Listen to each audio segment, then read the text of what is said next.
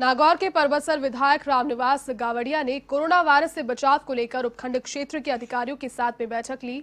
इसमें अधिकारियों से बचाव कार्यों को लेकर किए जा रहे कार्यों की प्रगति रिपोर्ट की जानकारी ली। विधायक की प्रगति रिपोर्ट में खामियाँ दिखने पर उन्हें तुरंत सुधारने के निर्देश भी दिए।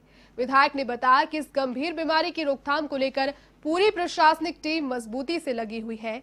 भामाशाहों के सहयोग से खाद्य सुरक्षा के पैकेट्स भी वितरित किए जा रहे हैं। विधायक कोष से विधानसभा क्षेत्र में खाद्य सामग्री के लिए 21 लाख रुपए भी स्वीकृत किए गए हैं।